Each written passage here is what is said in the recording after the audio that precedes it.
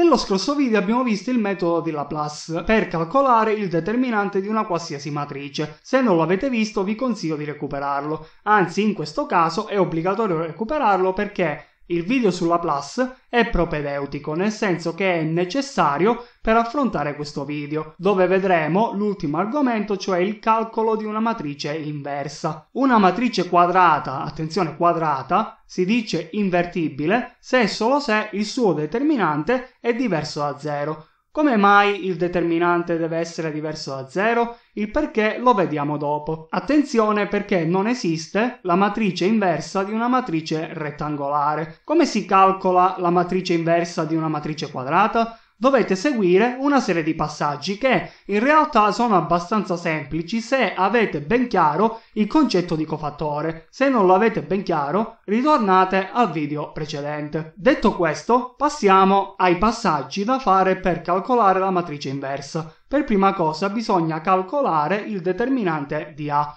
per verificare se la matrice effettivamente è invertibile. Se è diverso da 0 proseguiamo, altrimenti ci possiamo fermare perché la matrice non è invertibile. Dopodiché costruiamo una matrice dove al posto di ogni elemento di partenza inseriamo il cofattore corrispondente. Verrà fuori quella che si chiama la matrice dei cofattori. Su di essa calcoliamo la sua trasposta e infine dividiamo ogni elemento di questa nuova matrice per il determinante di A. Il risultato sarà la matrice inversa. L'ultimo passaggio ci fa capire il perché se il determinante di A è 0 non esiste la matrice inversa. Non si può vi ricordo, dividere un elemento per 0, quindi se il determinante è 0 non possiamo fare l'ultimo passaggio, cioè quello di dividere tutti gli elementi per il determinante. Il calcolo della matrice inversa sembra complesso, ma in realtà basta un esempio pratico per capire tutto.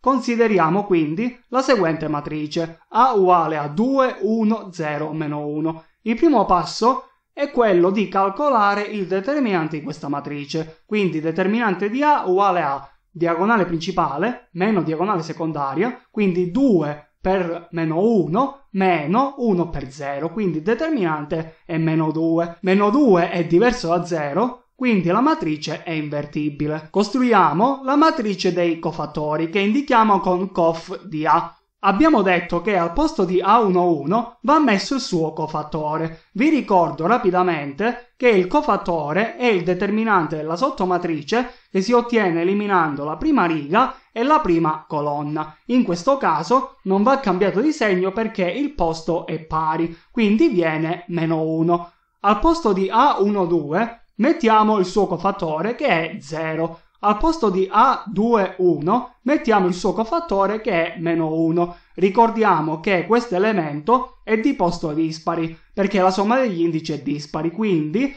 viene 1 cambiato di segno. E infine, al posto dell'elemento A22, mettiamo il suo cofattore che è 2. Ci siamo ritrovati con la cosiddetta matrice dei cofattori. Come vedete non è difficile. A questo punto calcoliamo la trasposta di questa matrice, scambiando le righe con le colonne. Quindi la prima riga diventa la prima colonna e così via. Otteniamo la seguente matrice. Ultimo passaggio, dividiamo ogni termine di questa matrice per il determinante di A, cioè per meno 2. Abbiamo adesso ottenuto la famigerata matrice inversa. Direi che il tutto è abbastanza semplice, è sufficiente ricordare i passaggi. Facciamo un riepilogo. Per calcolare la matrice inversa bisogna per prima cosa calcolare il determinante. Se è diverso da 0 continuiamo, altrimenti ci fermiamo. Dopodiché costruiamo la matrice dei cofattori, calcoliamo la trasposta di questa matrice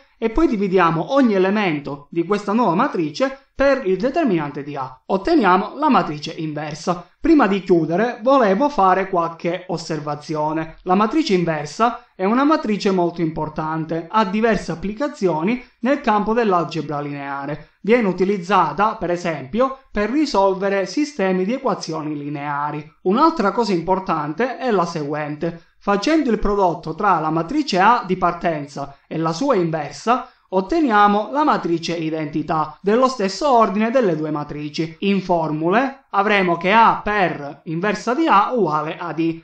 Vi ricordo che la matrice identità è quella matrice che sulla diagonale principale ha tutti 1 e gli altri elementi sono tutti nulli. Questa proprietà la potete vedere come una sorta di verifica. Infatti, una volta trovata la matrice inversa, potete svolgere il prodotto con la matrice di partenza. Se non vi viene come risultato la matrice identità, sicuramente avete sbagliato. In descrizione vi lascio il link per approfondire questo argomento. Con questo video abbiamo terminato, come al solito se vi è piaciuto metti un mi piace, commenta, condividi, seguimi sui social e ci vediamo nel prossimo video.